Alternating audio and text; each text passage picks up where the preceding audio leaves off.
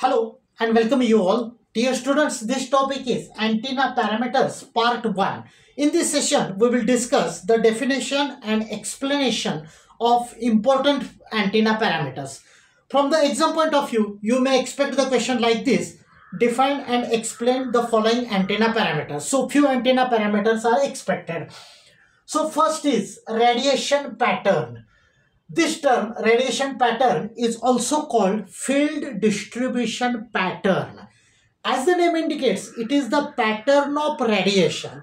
अब ये डायग्राम देख लो, ये डायग्राम ड्रॉ करने के लिए तीन एक्सिस यूज़ किए X axis Y axis and Z axis these are the similar axis which we have studied in electromagnetics now we are talking about a transmitting antenna As the name indicates, transmitting antenna radiates the signal. So there is one particular direction at which you are getting a maximum output, maximum radiation. So this particular diagram which is drawn with red ink is called major lobe, L-O-B, major lobe. You may expect the question like this, uh, define and explain the term radiation pattern or define different lobes of radiation pattern. So as I said, if are talking about the transmitting antenna, along one particular direction, you are getting a maximum output. So this particular pattern is called major lobe. So this red colored uh, diagram indicates the major lobe. Now, we know that radiation is a function of direction. We have shown three directions. So uh, it is a function of direction and it basically gives distribution of radiation energy in the free space. That means how if the transmitting antenna started transmitting the signal, then how the distribution of energy takes place in the free space. This particular diagram is called radiation pattern. So this particular uh, lobe is the major lobe which shows distribution of energy along one particular direction and it is maximum. Next is there are two parts. One is E field and another is uh, H field. E stands for electric field intensity, H stands for magnetic field intensity. So definition is E plane जैसे इस diagram में देखा है जैसे देखो इस part का जो है drawn with blue ink it is E field pattern whereas this part is H uh, field pattern. Now, E field pattern is the plane containing E bar. E bar means electric field intensity and the maximum radiation. मतलब इतना जो portion है, इतना इतना जो portion है, this is E field pattern. Whereas H field pattern, H is magnetic field intensity. It is the plane containing H bar and maximum radiation. Means this portion where uh, I have written H field pattern. So it is the plane containing magnetic field intensity and maximum radiation because this part indicates the maximum radiation which is called a major lobe. Now, as I said, major lobe is the lobe or is the radiation pattern at uh, or which shows the direction of maximum radiation. Apart from these lobes, there are certain uh, different lobes which are called as minor lobes. So all the lobes except major lobe are called minor lobe. Next is side lobes. See, along this you are getting a maximum output. Apart from this, there are again some radiation pattern or make it more simple.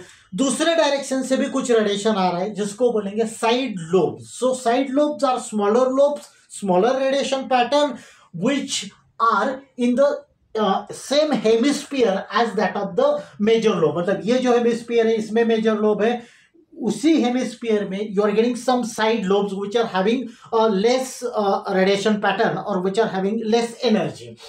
So uh, minor lobes are all lobes except major lobes. Side lobes as i said these are these lobes are adjacent uh, to the major lobe. And back lobes so if if the antenna is like this you are getting a, a radiation in a particular direction it may happen that from the back end of the antenna some radiation is generated that are these lobes or these radiation patterns are called back lobes. So these back lobes are opposite to the major lobe and they occupy the hemisphere which is in opposite direction to that of the major lobe. So these are the radiation patterns of an antenna Next is BWFN. Refer this diagram. As shown in this diagram, I have shown two dotted lines. See, there are certain directions along which you are getting zero radiation, that is zero output or null output. So let us say these two dotted lines uh, drawn with the green uh, pin are indicating the directions along which you are getting a zero output or null outputs. So if you measure the angular width between uh, these two lines, then it is called BWFN, beam width between first nulls. Next is gain of an antenna. Basically gain is a ratio. It is U. U means radiation intensity. Radiation intensity of test antenna to the radiation intensity of reference antenna. We are using two different words in this definition. One is test antenna. Test antenna का मतलब है जिस antenna का gain major करना है वो antenna so the antenna whose gain we which we want to major is the test antenna what is the reference antenna reference antenna as the name indicates is is ideally uh, isotropic antenna. Isotropic antenna is an antenna which radiates equally in all possible directions. So we are considering that we are using two antennas. One is test antenna jiska gain measure hai. Second is reference antenna which is ideal isotropic antenna if we are applying same power to both the antennas and if you take the ratio that is U means radiation intensity of test antenna to the radiation intensity of reference antenna then this ratio gives us value of gain of an antenna. For isotropic antenna it is expressed as U max that is maximum radiation intensity of uh, test antenna to U0. U0 is maximum radiation intensity of reference or isotropic antenna. Next is directive gain. So the definition is the extent to which a practical antenna concentrates its radiation uh, radiated energy related to the isotropic antenna. इसका क्या मतलब है? If you are talking about a practical antenna and if you are comparing it with isotropic antenna, याद रखना है isotropic is antenna is an antenna which radiates equally in all possible directions, so it is the ideal antenna. तो हम लोग अगर किस extent में practical antenna और जो डिज़ाइन एंटीना वो रेडिएट कर रहा है in comparison with ideal antenna that is called और that value give us the value of directive gain so the extent to which practical antenna concentrate its radiated energy related to the isotropic antenna gives us value of directive gain. Formula is GD, notation is GD, which is PD, power dissipated upon power average. Next is effective length. Basically this parameter effective length. See total length of antenna will be different. Out of that a particular part, particular length is useful for radiation. So that is effective length. So it gives us an indication how effectively given antenna radiates or receives EM waves. EM means electromagnetic waves. We know that broadly there are two types of antennas. One is transmitting antenna, another is receiving antenna. So it is denoted by LE. Effective length is LE which is ratio of V upon E. V is the voltage, E is electric field intensity. Next parameter is efficiency of antenna. याद कैसे रखना है बहुत simple term है ये basic equation of efficiency is output upon input so the formula is eta that is efficiency is pr upon pt pr is radiated power pt is the total supplied power to an antenna. So output upon input. P radiated is output power. PT is the power which is supplied to the antenna terminals.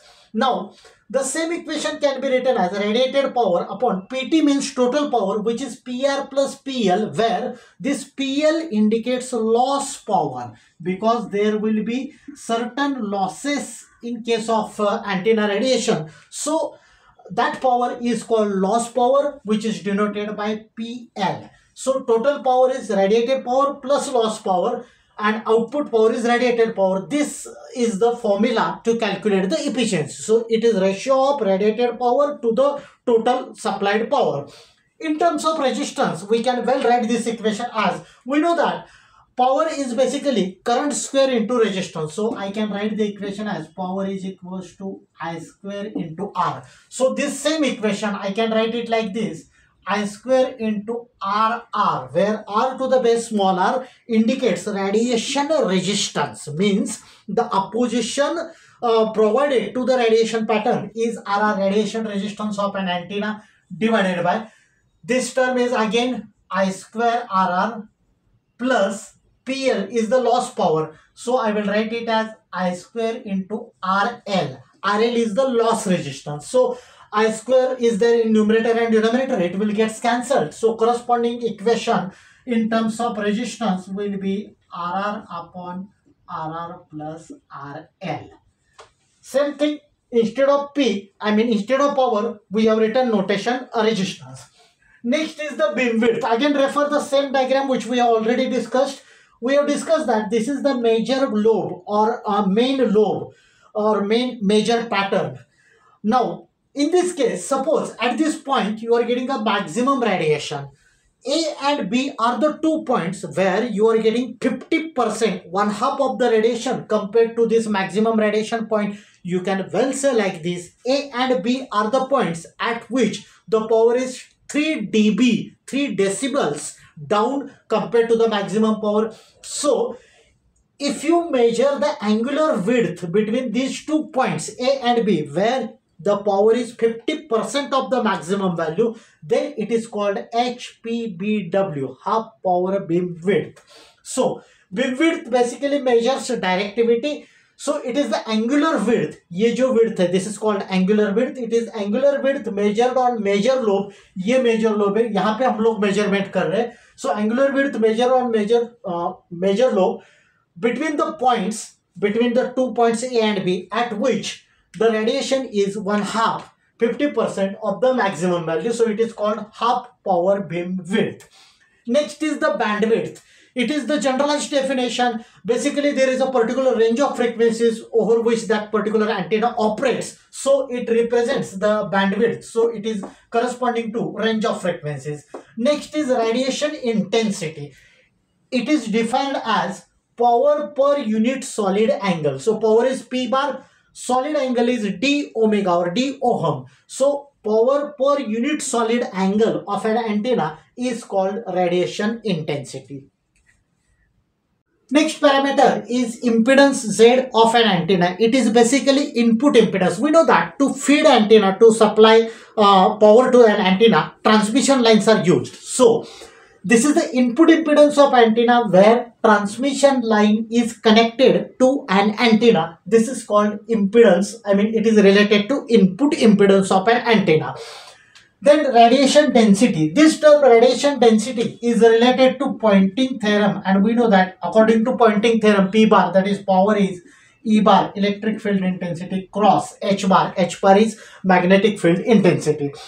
So this, this represents the power density associated with EMF that is electromagnetic frequency of an antenna in the far field region. There are different regions of an antenna radiations as the name indicates it is a far field region. What region is there? Means you are taking a measurement uh, or you are getting readings very near uh, to an antenna that is near field region.